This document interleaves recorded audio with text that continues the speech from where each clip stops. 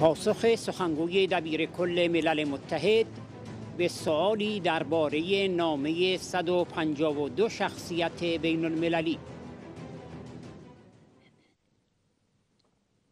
سایت سازمان ملل متحد 15 اردیبهشت 1400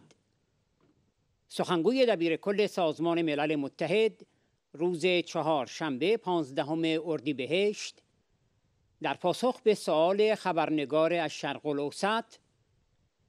راجع به نامه 152 شخصیت بین المللی و کارشناسان حقوق بشر سازمان ملل به کمیسر عالی حقوق بشر و دیگر مقامات زیربط ملل متحد و فراخان آنها به تشکیل کمیسیون تحقیق در مورد قتل عام زندانیان سیاسی سال 67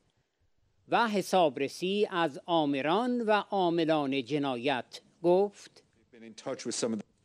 So our human rights colleagues have received uh, the letter. They've, uh, they've been in touch with some of the signatories. Um, for us, the establishment of an international commission of inquiry is a decision for member states to take. Uh, however, the Human Rights Office and the Special Rapporteur on the Human Rights in Iran have reported persistent immunity for grave violations of human rights in Iran and the call for accountability. It's an issue that the Human Rights Office and the High Commissioner have repeatedly called forth.